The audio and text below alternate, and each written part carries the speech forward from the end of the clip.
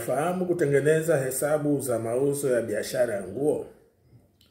Moja kati ya changamoto unazoweza kukabiliana nazo ni wakati unafanya biashara ya nguo ni kutengeneza taarifa au hesabu za mauzo ya biashara ya nguo. Video hii nitaeleza mambo muhimu ya kutafakari unapotengeneza hesabu za mauzo ya biashara ya nguo. Na kuomba usubscribe huduma zetu ili usikose kuona video zinazotolewa na Tan Business Channel kila siku.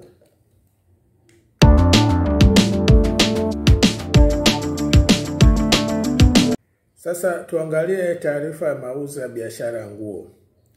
Taarifa ya mauzo ni muhimu sana unapotengeneza hesabu za biashara ya nguo.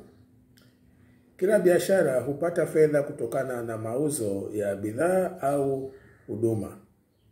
Sasa mauzo ya bidhaa au huduma lazima yakatiwe risiti wakati yanapofanyika, na hatimaye hii risiti ndio inayotumika kutengeneza taarifa ya mauzo.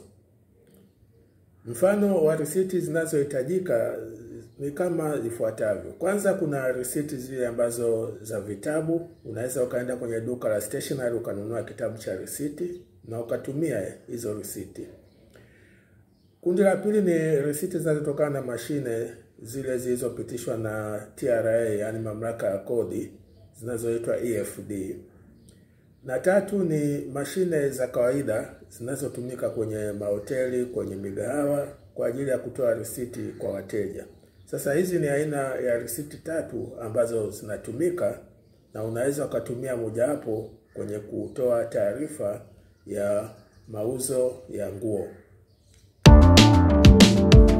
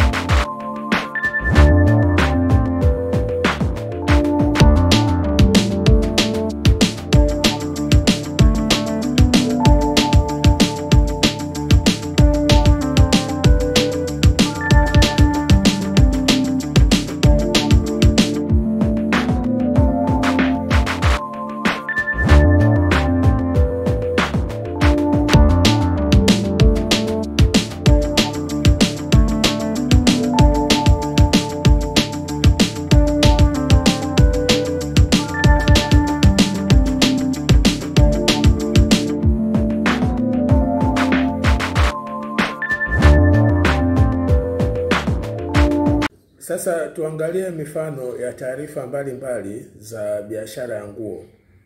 Nimekuja na mifano ambayo inatokana na biashara ya Mange Enterprise ambapo anafanya biashara ya nguo.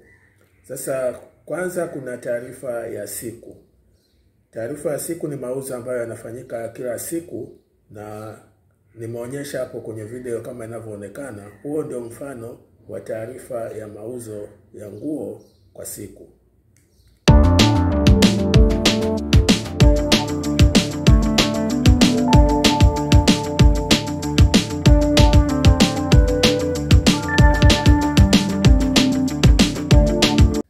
Taarifa ya aina ya pili ni taarifa ya mauzo ya wiki. Taarifa ya mauzo ya wiki tofauti yake na ya siku ni kuwa hii inakuwa na columns na kila kola mmoja inawakilisha mauzi yaliyofanyika kwa siku. Kwa hiyo kuna mauzi ya siku ya Jumatatu, Jumanne, Jumatano mpaka Jumapili katika wiki.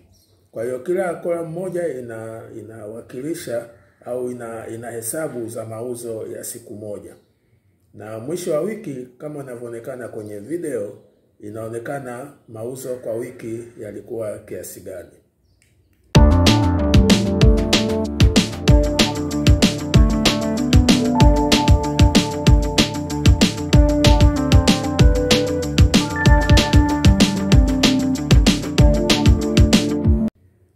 Ripoti ya aina ya tatu ni ya mauzo ya mwezi. Hii ya mauzo ya mwezi kidogo inafanana na ile ya mauzo ya wiki kwa sababu nayo ina columns. Tofauti tu ni kwa columns za ripoti au taarifa ya mwezi ni za wiki, kwa maana kwa kila wiki inakuwa na column moja. Kwa kawaida mwezi unakuwa na wiki nne, mara moja moja zinakuwa wiki tano. Sasa unanga, kama unavyoone, kama inavyoonekana kwenye kwenye video, wiki ya kwanza inakuwa na kolamu yake, wiki ya pili, wiki ya tatu mpaka wiki ya nne, na hizi wiki ndio zinazojumuisha kupata mauzo ya mwezi kama inavyoonekana kwenye kwenye video.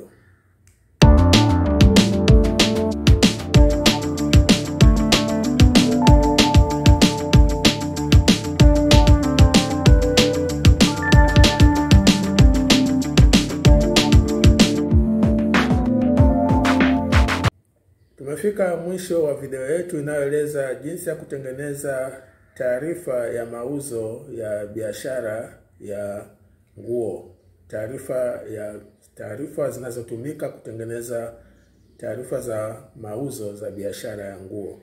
Naomba subscribe huduma zetu ili usikose kuona video zinazotolewa na Tan Business Channel kila siku.